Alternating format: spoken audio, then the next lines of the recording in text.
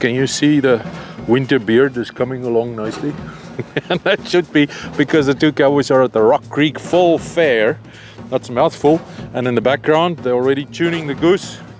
That's the pipes getting going. Let's go see what the Fall Fair is all about here at Rock Creek because you've got the two cowboys, the resident jokers of the boundary country, and we're gonna have some fun today.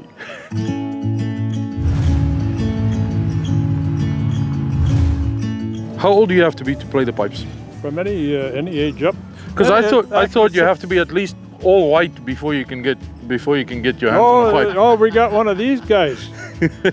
Where, where about you from? I'm from here. My aunt here is from Campbell River. We're trying to tell people why they need to come to the fair, and obviously you're local, so that's the only entertainment we have in the, in, in, in the boundary, isn't it? But, but give us a good reason.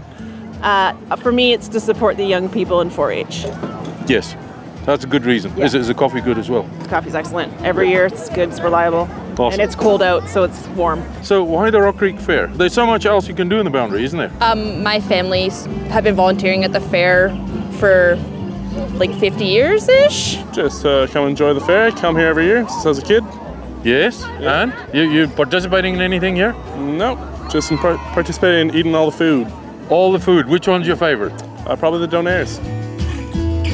This is where we make an assessment on how well the season's going to go for barbecue here at the Boundary Country, because this is where the 4-H thing happens for the lamb. And you know how love with love affair we have with lamb, and it's all above the belt. Believe me. Look at how beautiful our lamb is going to be for next year when we put it on the smoker. I have two kids. They show sheeps. And we just picked one out there for our smoker. We're going to put them on the smoker here. Maybe maybe Thanksgiving, but definitely next year's crop looks pretty awesome. What do you reckon? You- You're not going to tell your kids we're going to cook their lambs, are you? Oh yeah, they know that. They know that? Oh yeah, sure. So have they given them names? No. Yeah, sure. They pet their pets, but they sell them in the end in barrier. So Yeah. yeah. So why are you guys doing this? When we're done competing with them, they go to barrier and we auction them off, and then We get to eat them. yeah, you get to eat them. So what do you feed your lamb to make it a good lamb? Um, I feed two pounds of grain a day and about the same for hay. What do you do to compete? Help me out. What's, is it just raising the animal, making him fat, and then getting meat out here? Uh, so it's waking up early, feeding them, washing them, brushing them, walking them, and then doing it all over at night and every day. So if you don't do lamb and you don't do beef, there's always a rabbit in the boundary country. Let's go see what the rabbits are about. So 4-H ambassador, what does that mean? That means I'm an ambassador for the 4 H program. 4 H is a youth development program. We actually focus on leadership, self awareness for your kids, public speaking, projects, everything. And actually, most people think that 4 H is based, like, we are based around agriculture, but we are not necessarily agriculture. We are open to all kids. So the whole idea is to, to teach young people a little bit about what it takes to become a producer, to look after an animal, rear it, and then I mean we know eventually it's going to we're going to put it on the barbecue out there, but we don't tell too many folks about that one. Chicken in motion. What does that mean? Poultry in Motion. Um, we are BC chicken growers, um, and we go around educating the public on how we raise commercial meat because there's a huge disconnect between people and their food, and there's a lot of misinformation out there that people think that chickens are grown in tiny little cages and We love BC chicken. We Yeah. love Yep. all chicken that we can put on our barbecues and our smokers, and, and people think it falls out of a factory. Is this beyond meat nonsense? Is, is that catching on at all?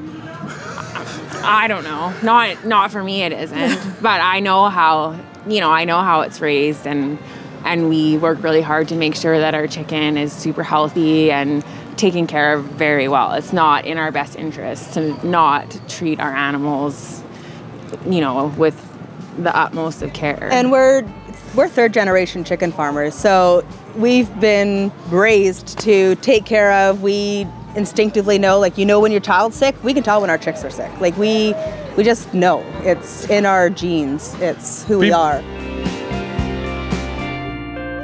A longhorn from Canada? No. No longhorns from Canada? Because we got some just up the road here. You- Perfect. Yeah? You're gonna butcher them for us? So you guys are from Ar- Armstrong, and the kind of things I, I love the horns. By Yes, the way. Yeah, they're beautiful. yeah. So where do you get them? Uh, we get them from the uh, right on the border between Texas and uh, and Mexico, and the Mexican people they polish them up and make them look beautiful and put them all together for us, and then we haul them home. Do you know of any guys in, in Canada that does the same thing? They, they mount these know. these horns? No. None. So you you were here last year too, weren't you? Yep, I'm here. I've been here every year for a few years now. Are you from the area? You from the boundary? I'm from Kelowna. And what's your favorite things you're painting? Uh, my favorite thing is to draw would probably be just like really weird creatures or anthropomorphic animals done in like a diesel punk style. Yeah. That's cool man. If you're selling this stuff, you must be able to speak Afrikaans. Arno aangename kennis Hendrik van Wyk. We're talking about red bush or bossies teer. What, what's the real name for this yeah, thing? it's bush tea. It's bush tea, and and the, the the reason why it's called bush tea is sort of it grows up in the mountains. We've seen your stuff all over the boundary. Every little coffee shop, every place has got your essential oils. But you, you're just up the road, aren't you? Yeah, yeah, we're local. Honey. We've got honey and pears today from my grandparents' farm, uh, organic uh, pears and organic honey, and we've got our lavender fields out in the out in the farm. So the honey, uh, the bees go to the lavender and the wildflowers. So it's a really nice mix of flavor. You realize to get lavender honey in the southern part of France is nearly impossible to find, and here we got it right in our backyard. There you go. Right? Did you want to have a little taste tester?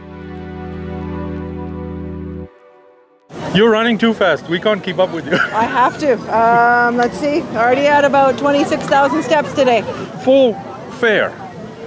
Is it what you wanted this year? It is. The weather's good. It's not sunny, but it's perfect. I think. Um, lots of people, lots of vendors. Everybody seems to be smiling. All the gates are open. We had it. What's the highlight so far? I haven't seen a lot yet. Actually, for me, seeing the lineups is the highlight because I know people are coming. Yeah. Definitely is. I tell you, the food for us is just amazing. So we had a good food. You've had a lot of volunteers helping you. Yeah. So uh, you want to say anything to them? Because those are important people in our I lives. just so appreciate what they do for us. We wouldn't be able to function without the volunteers. They are the heart of this organization, and um, we can't say enough about them. We're Good. so grateful to have them. Thank you for having the Cowboys. Thank you. you. You got another. You got to sit down. Come, let's let's get you a seat. You no, need I, this is actually not for me. It's for my husband.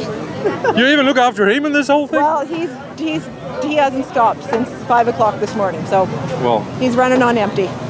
I, I'm not going to stand between a husband and his wife. So off, off you go. Go Thank look you. after him. Thank and you. Uh, thank you for having us. Oh, we appreciate it. welcome. Good. Thanks. And uh, good luck for the rest of the fair. Thank you so much. All right, Lisa. bye-bye. Bye. so, just for what it's worth, that's all the effort that goes into the Rock Creek Fall Fair. Um, you can see all the people around us. The food is great. The animals are here.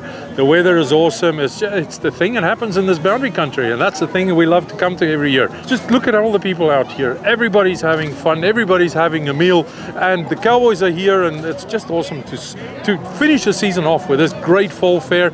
All our friends, and um, you should have been here.